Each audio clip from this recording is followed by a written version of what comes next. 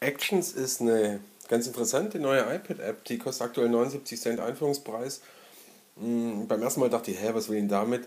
Ist eine, ein Fernbedienungstouchpad für den Mac quasi. Also, ja, hört sich komisch an, aber man muss es mal gesehen haben, könnte zumindest für, beim produktiven Arbeiten auch ganz praktisch sein. Ich habe hier so eine große Oberfläche äh, von Symbolen, mit denen ich quasi bestimmte Aktionen auf dem Mac steuere. Auf dem Mac hier habe ich so ein kleines Programm laufen, das läuft im Hintergrund.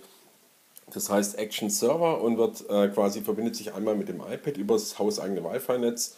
Da kommt eine Nummerncode-Abfrage, damit ihr keinen fremden Mac übernehmen könnt. Und wenn ich jetzt quasi hier, ich bin mit dem Mac verbunden auf dem Finder, kann jetzt sagen, hier legen wir einen neuen Folder an, zack. Ich, ich fange mal ein bisschen hoch, dann seht ihr das. Legt er mir halt neue Folder auf dem Schreibtisch an. Ich kann auch sagen, leg mir den Folder wieder in Müll. Da unten habe ich eine Mülltonnentaste, drückt da drauf, dann schmeißt er mir den weg und ich kann auch, wenn ihr jetzt den Mülleimer da hinten seht, sagen, hier, ich komme mal hier mit dem iPad ein bisschen mehr ins Bild.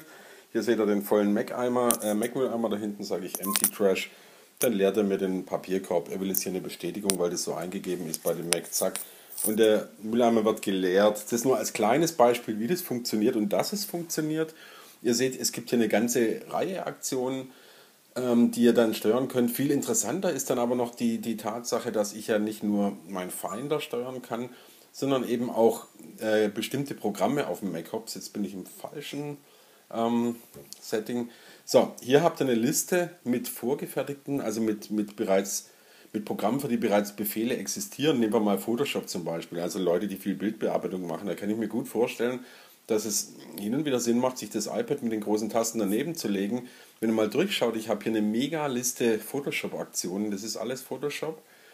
Aus denen kann ich mir so ein kleines Touchpad zusammenstellen, kann sagen, die Aktion möchte ich hier in dieser großen Form liegen haben und kann das dann speichern, kann es meinem Photoshop auf dem Mac zuweisen. Das müsst ihr, wenn ihr es ausprobiert, dran denken. Es reicht nicht, die Aktion anzulegen. Dann gibt es hier noch einen Button, wo man quasi sagt, hey, dieses Set bezieht sich jetzt auf genau diese Anwendung. Und einmal verknüpft könnt ihr quasi äh, diese bestimmten Anwendungen auf dem Mac dann durch das iPad bedienen, was echt eine Erleichterung sein könnte, wenn ihr jetzt viel Bildbearbeitung macht, ihr hockt den ganzen Tag da und habt hier die Möglichkeit kurz nebenher per Kurzbefehl äh, äh bestimmte Aktionen abzu, äh, ähm, zu aktivieren. Ich finde, für 79 Cent kann man es zumindest mal ausprobieren. Der Einführungspreis ist echt attraktiv. Schaut es euch mal an. Ich finde es ganz witzig und äh, kann mir das ganz praktisch vorstellen, wie gesagt. Dankeschön.